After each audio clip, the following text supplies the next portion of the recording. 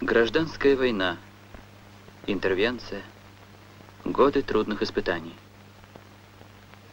Более тысячи тревожных дней, голода, разрухи, временных поражений, но главное — беспримерных побед.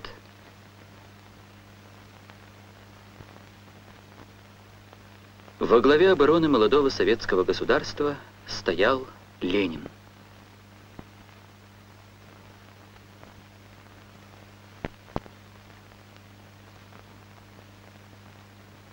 «Мы находимся в войне», — говорил Ленин. «Судьба революции решится исходом этой войны». Летом 1918 года положение Республики Советов было очень тяжелым. Враги наступали со всех сторон. Иностранная интервенция тесно смыкалась с внутренней контрреволюцией. В июле Ленин пишет немецкой коммунистке Кларе Цеткин. «Мы теперь переживаем здесь, может быть, самые трудные недели за всю революцию. Вся буржуазия прилагает все усилия, чтобы нас свергнуть». Кабинет Ленина как бы капитанская рубка огромного корабля. Сюда сходятся все нити с фронтов. Здесь разрабатываются военные операции против врага. Трудно представить себе, какой напряженной была деятельность Владимира Ильича Ленина, вспоминал Бонч Бруевич. Придя рано утром в свой кабинет, Владимир Ильич делал на карте разметку, тщательно изучал сводки и доклады главного командования. Он поддерживал постоянную связь с командованием фронтов и армий. Быстро менявшаяся обстановка требовала незамедлительного решения самых разнообразных вопросов, связанных с войной.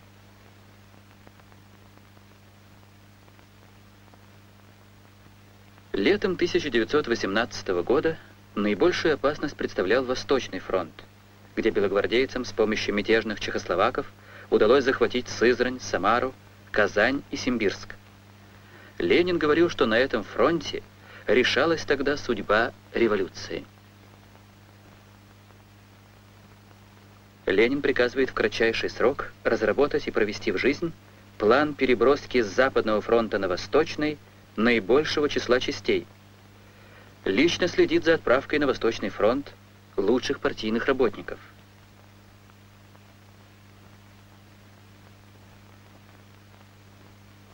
Беспокоится, как стоит вопрос об отправке подводных лодок на Волгу и в Каспийское море. Красная армия остановила продвижение врага, а затем перешла в контрнаступление –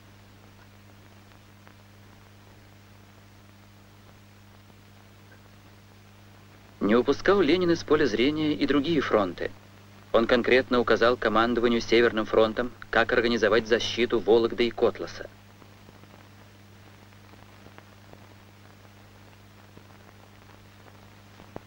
Большое внимание он уделял также обороне Царицына, отражению наступлений Краснова и Деникина. Вокруг Ильича сплотились лучшие силы партии – Свердлов, Дзержинский, Фрунзе, Ворошилов, Куйбышев, Сюрупа, Киров, Орджоникидзе, Петровский, Калинин. Партия и Ленин верят в победу над врагом, и эту веру большевики вселяют в народ. Владимир Ильич присутствует на смотрах войск молодой Красной Армии. Часто встречается с рабочими, выступает на собраниях, митингах, разъясняет военную обстановку, подчеркивает, что советская власть непобедима.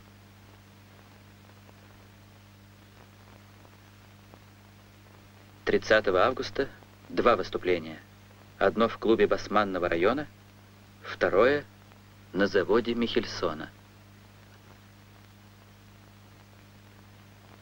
Во дворе завода эсерка Каплан стреляет в Ленина. Он тяжело ранен двумя отравленными пулями.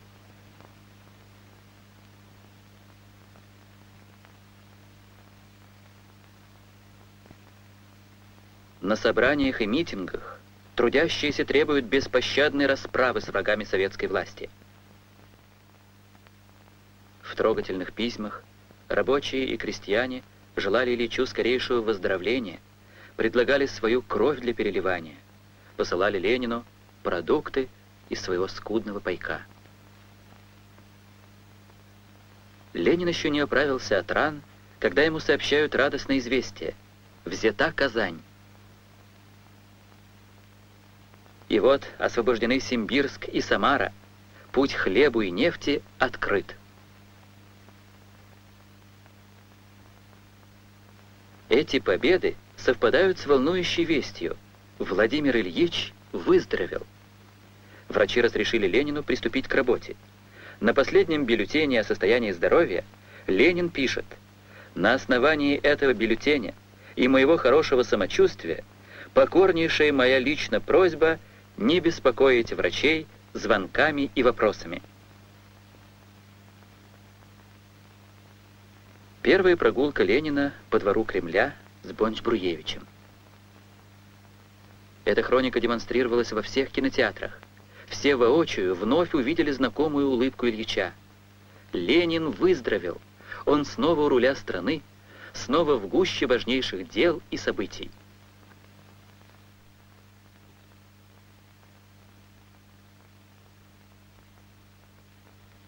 Первая годовщина советской власти. Год испытаний и побед. Октябрьские дни первой годовщины, пишет Крупская, были одними из счастливейших дней в жизни Владимира Ильича. А как же не радоваться, не быть счастливым, глядя на этих людей, которые выстояли несмотря ни на что. Выстояла республика, выстояла советская власть. 7 ноября Ленин произнес речь на открытии временного памятника Марксу и Энгельсу, присутствовал на открытии обелиска свободы на Советской площади, выступил с речью при открытии мемориальной доски борцам Октябрьской революции на Красной площади. Осенью 18 -го года зашатались, казалось, незыблемые устои крупнейших стран Европы. В Германии произошла революция. В этих условиях в ЦИК по предложению Ленина счел возможным аннулировать грабительский Брестский мир – На шестом съезде Советов Ленин предупреждал, что после победы над австро-германским блоком Антанта расширит интервенцию против Советской Республики. Шестой съезд предлагает Антанте мир. Страны Антанты не отвечают на мирные предложения. Интервенция усиливается. Интервентам помогают сотни тысяч белогвардейцев, вооруженных Антантой.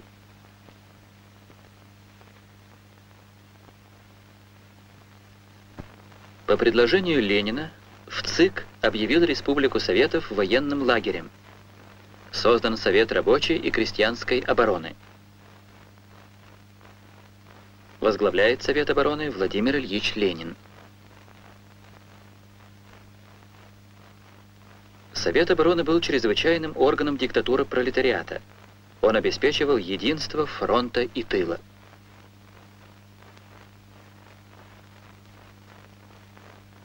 Ленин выдвигает задачу создать в короткий срок трехмиллионную армию. Он систематически следит за ходом мобилизации и проявляет большую заботу о вооружении и снаряжении новых дивизий.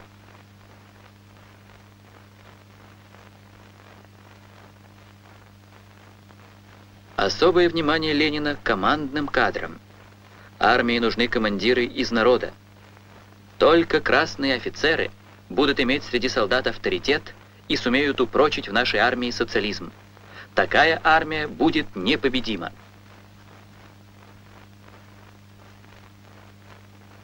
Но Ленин считал необходимым использовать и военных специалистов старой армии. Такие офицеры, как Каменев, Шапошников, Вацетис и другие стали выдающимися военачальниками Красной Армии. Сотни своих верных сынов направила партия в Красную Армию. Павел Карлович Штернберг, комиссар, представитель ЦК и Совнаркома в армии.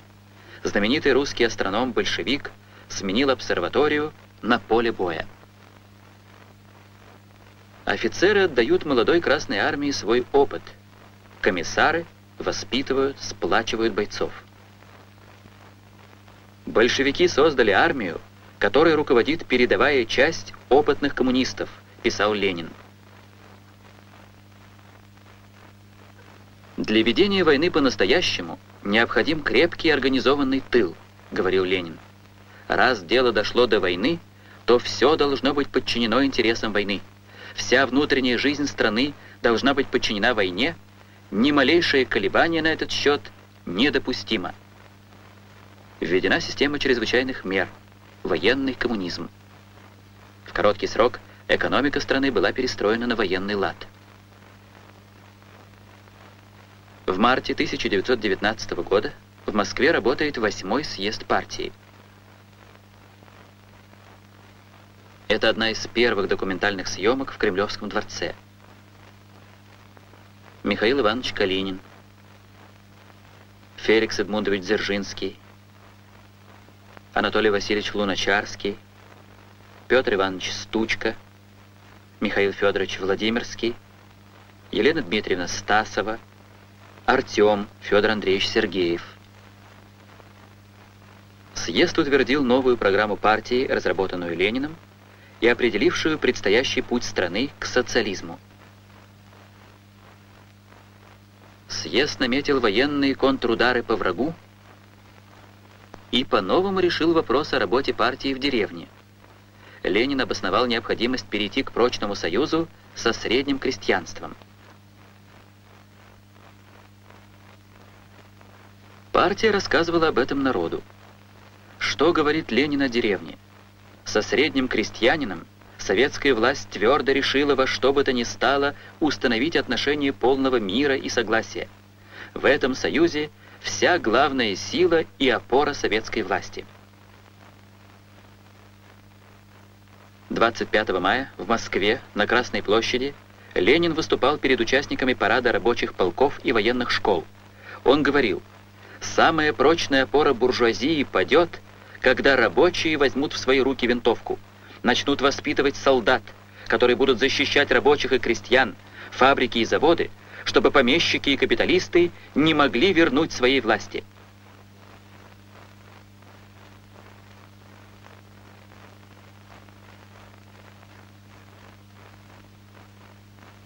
«1919 год. Огненное кольцо продолжает сжиматься. Республика окружена врагами. Они наступали на шести фронтах одновременно. На Восточном фронте Антанта двинула адмирала Колчака.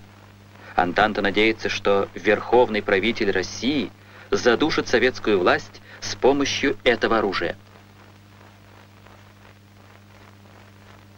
Ленин пишет, победы Колчака на Восточном фронте создают чрезвычайно грозную опасность для Советской Республики необходимо самое крайнее напряжение сил, чтобы разбить Колчака. В этот тяжелый период с особой силой сказалась выдающаяся роль Ленина в организации обороны страны. Владимир Ильич умел выделить главную военную задачу и сосредоточить на ней максимум усилий. Ленин назначает Фрунзе командующим южной группой войск Восточного фронта. Колчак бросает против него отборный корпус генерала Капеля. Но батальоны Капеля на голову разгромила дивизия Чапаева, входившая в армию Фрунзе. Уфа наша. Путь на Урал открыт. Но Ленин волнуется. Наступление не должно остановиться. Колчака надо добить. Урал освободить до зимы. И он будет освобожден. В этом поклялись бойцы – отвечает Михаил Тухачевский, командир 5-й армии.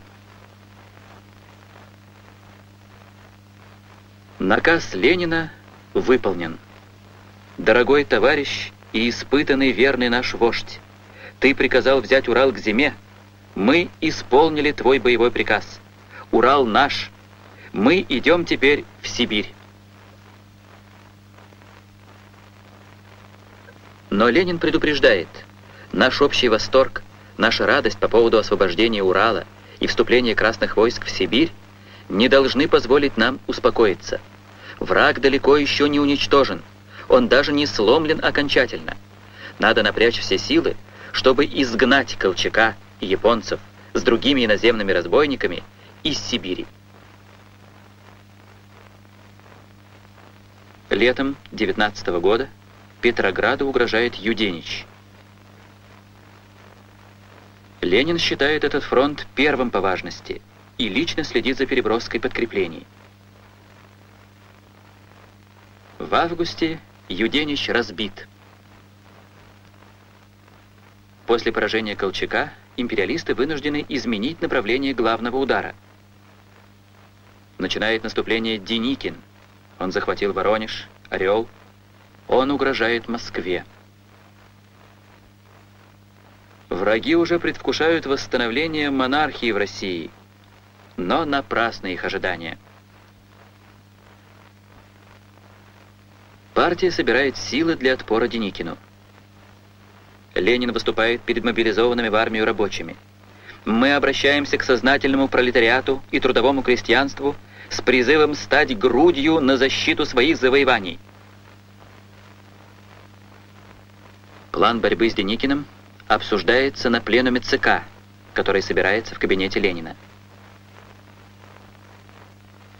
Ленин настаивает не изменять плана, не трогать распоряжений, не поддаваться панике, дать добавочные силы, но их дать и с ультрабешеной энергией, ибо опасность есть величайшая, никогда не было такой.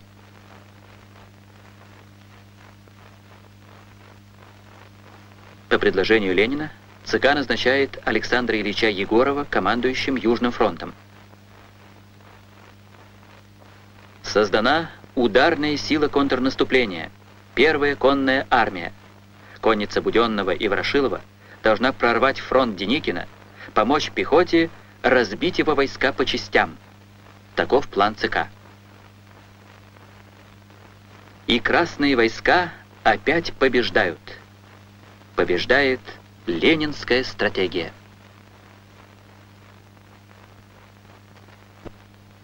Ленин обращается с письмом к рабочим и крестьянам Украины. Красные войска взяли Киев, Полтаву, Харьков и победоносно двигаются на Ростов. Необходимо собрать все силы, чтобы разбить до конца деникинские войска, пытавшиеся восстановить власть помещиков и капиталистов. День трех побед. Разгром Колчака, поражение Деникина, конец Юденича под Питером. В феврале 1920 года заключен мирный договор с Эстонией. Ленин называет его «окном, пробитым русскими рабочими в Западную Европу». Важнейшую роль в победе сыграли трудящиеся всей страны, особенно рабочие – самая надежная опора советской власти. Председатель партии ячейки депо «Москва сортировочная» Иван Бураков еще в апреле 19 года обратился к рабочим. Ильич просил помочь. 13 коммунистов и двое беспартийных. 15 зачинателей коммунистического труда.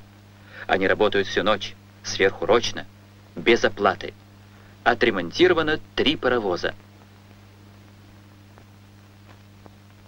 Их начинания подхватили тысячи и тысячи рабочих.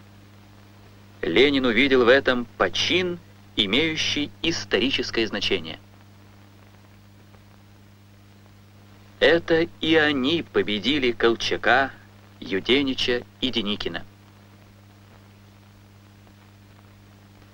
Владимир Ильич придавал огромное значение единству и солидарности коммунистов всех стран –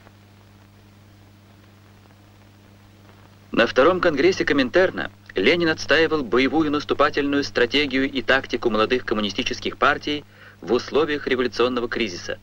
Он воевал против любых отклонений правого и левого толка.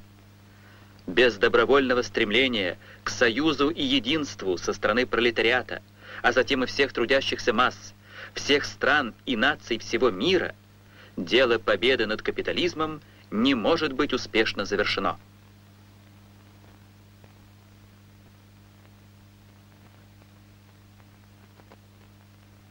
Империалисты готовят новый поход. Угроза со стороны Польши. Советская республика предлагает панской Польше добрососедские отношения. Правительство Пилсудского молчит. Поляки, видимо, воевать будут. Главная задача сейчас не кавказская трудармия, а подготовка быстрейшей переброски максимума войск на Западный фронт. Ленин, как всегда, прозорлив. Весной 1920 года Антанта все же начинает новый антисоветский поход. Пусть ваше поведение по отношению к полякам там покажет, что вы солдаты рабоче-крестьянской республики, что вы идете к ним не как угнетатели, а как освободители. Третий год гражданской войны. Страна истерзана, разорена, но эти люди побеждают. С Польшей заключено перемирие. Но Ленин считает, победа над Польшей не будет действительно победою, если Врангель не будет разгромлен. Наступление Врангеля есть только часть польского наступления. На Крымском фронте мы теперь расплачиваемся только за то, что зимой не добили остатков деникинских белогвардейцев. Внимание партии должно быть сосредоточено на Крымском фронте. Последний оплот генеральской контрреволюции должен быть уничтожен. Ленинские мысли легли в основу письма ЦК всем организациям партии. К оружию, товарищи!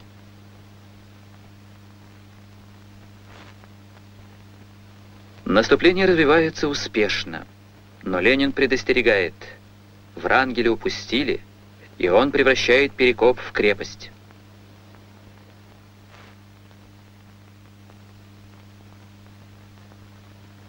Командующим Южным фронтом назначен Фрунзе. Трудно, очень трудно штурмовать Перекоп. Но Ленин сказал, мы не имеем права обрекать народ на страдания еще одной зимней кампании. Среди штурмующих Перекоп легендарный начдив 51-й дивизии Василий Блюхер. Приказ Ленина на плечах противника войти в Крым.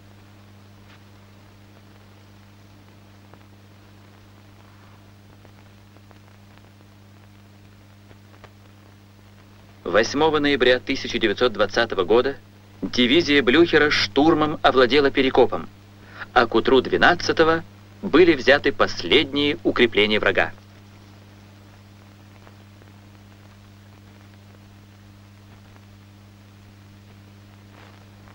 В этот день Фрунзе телеграфировал Ленину. Армии фронта свой долг перед республикой выполнили. Последнее гнездо российской контрреволюции разорено – и Крым вновь станет советским. Вдохновителя и организатора победы советского народа Ленин видел в героической партии большевиков. Только поэтому, говорил он, несмотря на двукратный, трехкратный и четырехкратный поход империалистов Антанты и империалистов всего мира, мы оказались в состоянии победить. Великая заслуга в победе принадлежит вождю советского государства Владимиру Ильичу Ленину, ставшему во главе обороны.